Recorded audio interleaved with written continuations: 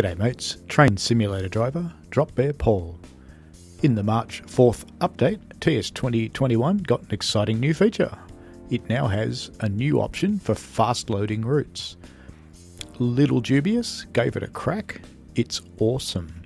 So, let's show you what I mean.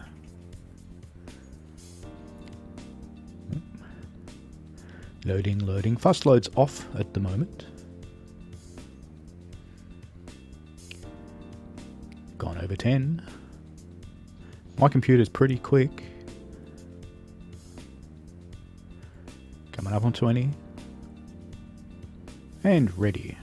23 seconds. Okay. I'm just going to turn fast load off again. Alright, so we've done that with fast load off. Let's turn it on. So we're back here in Steam.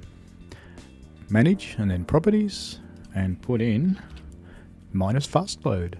And that's all you've got to do. So let's give that a crack. Okay, so we're ready to load this route. We've got fast load turned on this time. Let's see how we go. Remember last time was 23 seconds. Here we go. Coming up. Five seconds. Eight seconds. That's pretty good. I think we should try that with another route. Why not? Okay, here we go again. Fast load is off. We have reset the clock and we're going to do this this time with the Hudson line and the Acela Express. Here we go. Counting.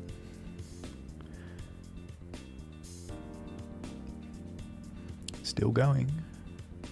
Up to 10 seconds now. 15. 20 25 There's obviously a lot more assets in this route. 30 35 and 37 seconds ready to roll. Okay interesting. Well let's try it again with fast load turned on this time so to turn fast load on, we go manage in Steam, properties, and we put in minus fast load. And then we kick it in the guts. Okay, this time we've got fast load turned on, Hudson line again, same as Acela Express, and off we go. This was quite a lot of assets, last time was quite long. Up to 10 seconds